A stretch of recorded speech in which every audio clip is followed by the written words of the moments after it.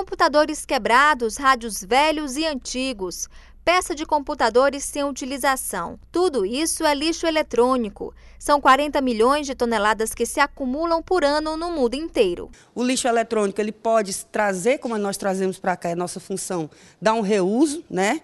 É, o tratamento adequado, final, porque as pessoas têm pego esse material e jogado no lixo comum. Esse lixo é três vezes mais tóxico do que o lixo comum, aliás, cresce seis vezes mais do que o lixo comum e são infinitas vezes e é infinitas vezes mais tóxico do que o lixo domiciliar, aquele que a gente coloca no, na lixeira.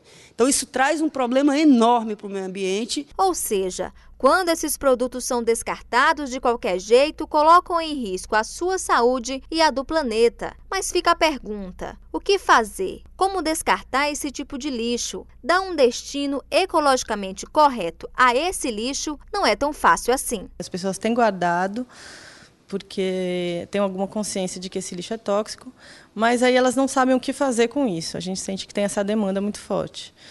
E para a gente saber o que faz com isso, a gente precisa criar toda uma cadeia que a gente chama de logística reversa, que na verdade é um nome pomposo para dizer que a gente tem que desfazer aquela peça. Você sabe o que fazer com baterias queimadas, pilhas, celulares, computadores? Não pois a ONG Ceará em Foco sabe muito bem a importância da reutilização desse material. Esse computador aqui, por exemplo, ele já foi reciclado e com certeza terá um novo uso. Transformar o lixo eletrônico em arte para que ele possa ser reutilizado é um dos principais objetivos da ONG Ceará em Foco. Agora a ONG tenta inovar com a campanha Não Rebole Seu Lixo no Mato. Quando a gente iniciar a campanha, e aí vocês vão ver como é que vai ficar isso aí na rua. Cada um de nós vai. vai, vai nós pretendemos fazer em dois dias esse mutirão, numa praça grande.